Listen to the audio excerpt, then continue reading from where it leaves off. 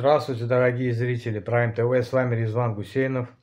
И в этот раз наша передача посвящена событиям, январским событиям 1990 года и пику этих событий, который пришелся на 20 января, ночь с 19 на 20 января, когда в Баку, в Азербайджан, вторглись войска советской армии, резервисты, представители различных спецслужб которые учинили кровавую расправу над азербайджанским народом. Э, об этом событии много сказано, много написано. Э, значительная часть нашего народа своими глазами видели, переживали эти события, в том числе и я, был тогда молодым. Но э, сегодня, спустя 33 года, у нас уже есть возможность более глубоко постаравшись без эмоций, отдалившись от тех дней, проанализировать, понять, почему это произошло, зачем и кому это нужно было, и какие выводы из всего этого сделал азербайджанский народ. Ну, во-первых, естественно, э, события конца 80-х годов, народно-освободительное, национально-освободительное движение азербайджанского народа, как и других союзных республиках протекала непросто, но следует отметить, что, пожалуй, наиболее кровавыми вот события национально-освободительного движения были в Азербайджане и, пожалуй, в Казахстане, где еще в 1986 году тоже были трагические события, обернувшиеся гибелью людей, молодежи. Почему именно? Э, я считаю, что наиболее кровавые. Естественно, в Тбилиси в 1989 году в апреле тоже саперными лопатками убили несколько демонстрантов.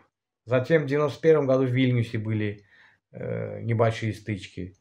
Но именно в Баку, именно в Азербайджане кровь ли, лилась реками. И это не только 20 января. Надо отметить, что в борьбе против Азербайджана за его стремление восстановить свою независимость, свое независимое государство, репрессивная машина советская машина, и не только советская, но и ряд западных государств и политических кругов, инициировали и Карабахский конфликт кровавый, унесший десятки тысяч жизней и сделавший беженцами, вынужденными переселенцами миллион азербайджанцев. И 20 января является одним из важнейших эпизодов в этой борьбе против азербайджанского народа с целью переломить нам хребет, не дать нам возможность восстановить нашу независимость. Потому что Азербайджан был и остается ключевой точкой, ключевым местом, где решается судьба многих геополитических проектов Евразии. Об этом мало говорят, не любят об этом говорить. Максимум, что говорят о нефтяном, углеводородном ресурсе Азербайджана, о роли и вкладе в транзит нефти и газа. Это тоже важно. И это есть часть того элемента, важности Азербайджана на геополитической карте региона и всей Евразии.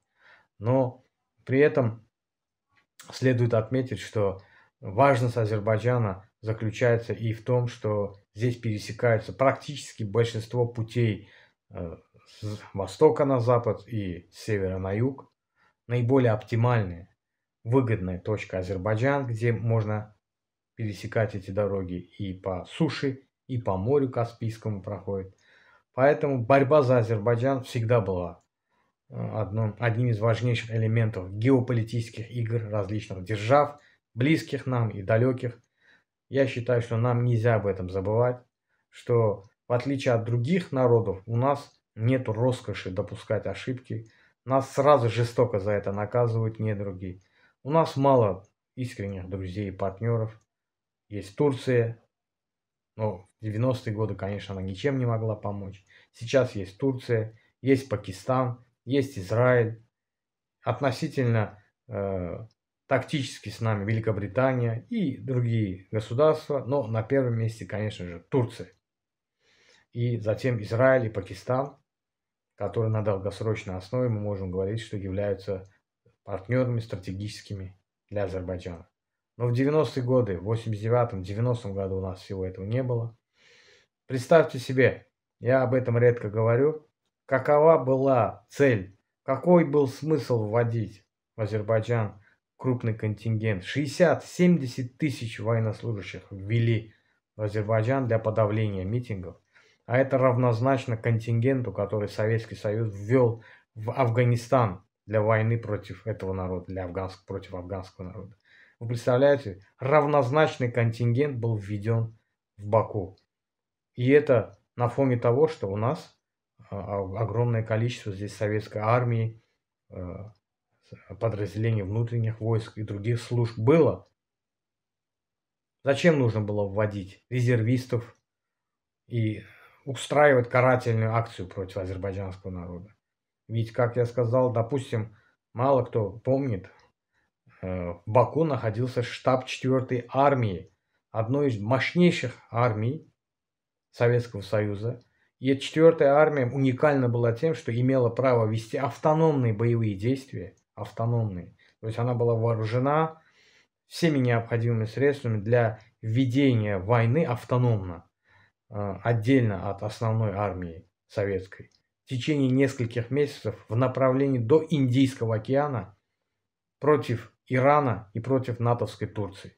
То есть огромный ареал, 4 армия, штаб которой находился в Баку и который подчинялась практически э, все вооружение войсковые части на Кавказе.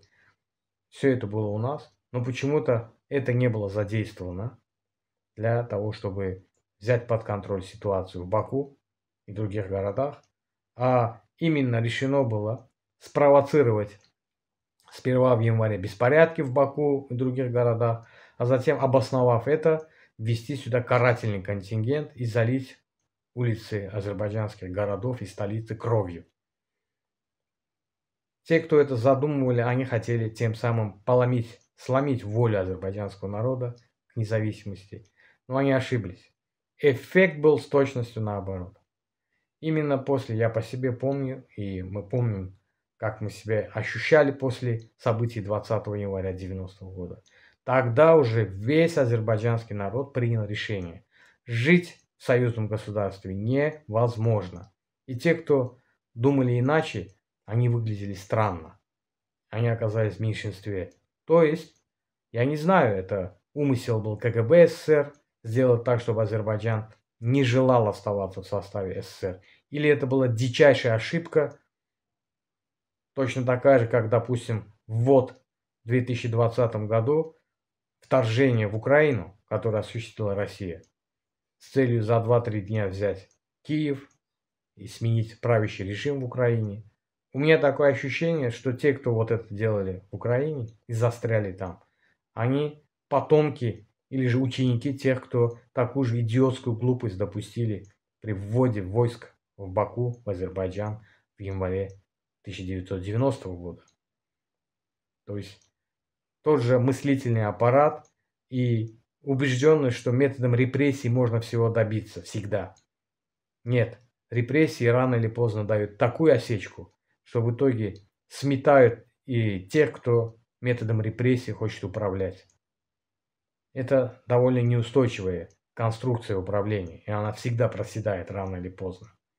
Поэтому я считаю, что одним из самых важных выводов, которые сделал азербайджанский народ после 20 января, это опираться только на свои силы, только на себя. Это понимание того, что мы одни, вокруг нас практически никого нету, кто нас поддержит и поможет.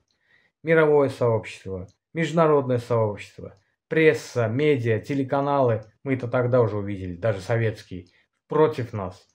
Нас называли пантуранистами, нас называли панисламистами. Мы тогда не понимали, что это за слова. Сейчас мы будем и за Туран, и за ислам. Тогда мы не понимали, что оказывается это клеймо. Быть тюрком, мечтать о Туране, быть мусульманином. Оказывается, это состав преступления, которые нам инкорпорируется со стороны не только э, наших близких соседей, но и западного сообщества. Оказывается, это клеймо в кавычках. И всегда на нас смотрят через эту призму сперва. А, это мусульманская страна. Неважно, что это первая демократия на мусульманском Востоке, что в 1918 году Азербайджанская Демократическая Республика дала те свободы, частности, свобода и права женщинам, которые во Франции и в США появились только десятки лет спустя после Азербайджана. Это не важно. Главное, что мусульмане, тюрки, а значит априори мы враги, а значит любая наша трагедия – это повод для радости некоторых внешних сил, и любая наша ошибка или же небольшое поражение – это повод для врагов объединиться и добивать нас. Я думаю, вот это то, что мы не должны забывать. Это самый главный урок и 20 января, и вообще тех тяжелых лет конца 80-х, начала 90-х годов. Наверное, то поколение помнит, насколько это были тяжелые времена. И наша задача, те, кто видели и пережили все это, э, передать это следующим поколениям, этот опыт, чтобы не повторялась никогда эта трагедия. Мы не имеем права быть слабыми. Нам это не простят. И нас не поддержат, когда мы слабые. Только когда мы сильные, а для этого нужно быть едиными. Только тогда нас слушают и уважают. Поэтому ошибаются некоторые, когда говорят, что почему Азербайджан иногда жесткий в своей внешней политике и в других процессах. По-другому не получится. И опыт горький конца 80-х и 90-х годов показывает, что, к сожалению или не к сожалению, есть определенный коридор возможностей, в рамках которой Азербайджан может выстраивать свое сильное государство. Чужого опыта нам в этом не надо. Нам достаточно своего опыта, который с лихвой мы можем, с которым с лихвой мы можем поделиться с другими народами. Нам есть что сказать, показать. И в ближайшие годы, я думаю, что будет еще более расти роль Азербайджана. Но единственное, что меня беспокоит, я думаю, надо это сказать, готов ли Азербайджан, готовы ли наши кадры, в первую очередь молодежь, к тем новым вызовам, к тем новым широким возможностям, которые открываются для Азербайджана в нашем регионе и не только в нашем регионе. Масштабность, проектность того, тех возможностей, которые открываются для Азербайджана, их надо еще осознать и подготовить для этого соответствующие кадры. Вот это и есть наибольшая, наиважнейшая задача в ближайшие годы для нас и для тех, кто хочет, чтобы азербайджанское государство крепло и развивалось. Спасибо, друзья.